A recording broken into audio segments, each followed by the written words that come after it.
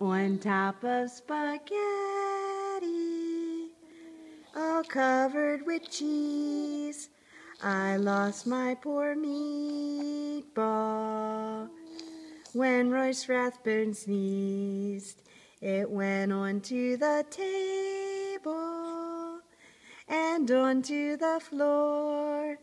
And then my poor meatball, it rolled out the door. It went into the garden and under a bush. And then my poor meatball was nothing but mush. The mush was as tasty as tasty can be.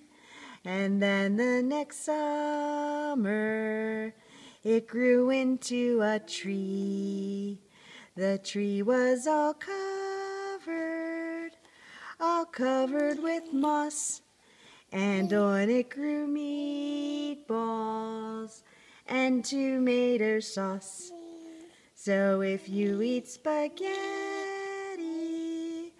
all covered with cheese, hold on to your meatball whenever you sneeze.